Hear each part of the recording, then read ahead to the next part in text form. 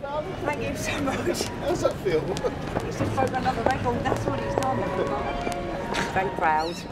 Um, proud for the lady who bred him, who died just over a year ago. Um, you know, it was her moment really, but um, yeah, extremely proud um, and in shock. they're not a breed that normally excels in the group, you know, they're quite difficult, they're not very cooperative, so yeah.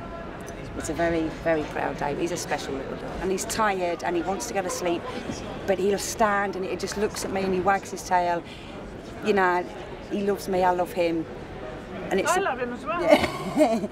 and it's um and then you get shortlisted and you think, oh, hang on, I'm in with maybe getting something.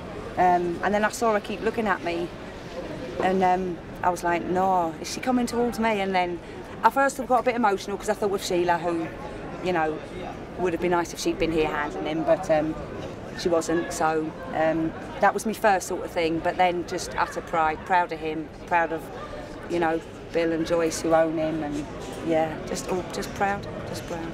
I can't see that he would let me down. He never has yet. You know, he might be a bit overwhelmed, I don't know, but up till now he hasn't. So um, I just enjoy it. It's the first King Charles to do this. He's, he's broken quite a lot of records. He's got the support of the breed people, which is really nice. And um, yeah, he's done a lot for the breed and should be proud of him. So now I'm happy to come back, no matter what happens. If I was actually to win, I would really hope I didn't cry on TV because we laugh at the footballer footballers when they do it on telly. So um, I don't know. I would be proud. He's a, for the breed, not just for him. I love him regardless of what he does on Sunday. But if I was to win the best in show, I, I like to think I wouldn't cry on national TV.